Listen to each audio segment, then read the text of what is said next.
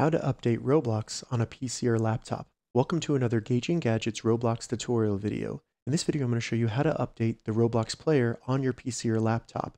So if for some reason you're having an issue updating Roblox on your computer, by the end of this tutorial, you should have it updated. So really by default, you should be able to update Roblox by simply going into roblox.com, selecting a game, and then hitting the play button. Once you do that, it'll start Roblox on your computer, and this is where it should automatically update.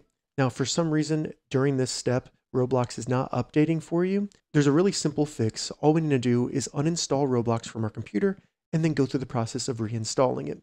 And to get started with that, all we need to do is go down to the Windows Start button in the bottom left, right click it, then go up to the top and select Apps and Features.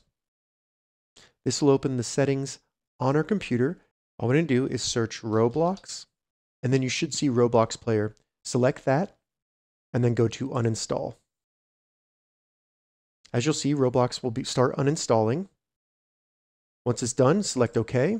And then now Roblox has been uninstalled from our computer. We can now close the settings for Windows. And now all we need to do is go back to roblox.com, select a game that you want to play, and then select the play button right here. It'll try to load Roblox, but because we have uninstalled it, we need to select download and install Roblox save the Roblox Player Launcher, and then simply open the Roblox Player Launcher that we just downloaded. Once you do that, it'll start installing and configuring Roblox on your computer with the latest update. And once you see that it's successfully installed, select OK, then go back to roblox.com, select the play button. And this time, when you do that, it'll start up Roblox with the latest version of Roblox installed.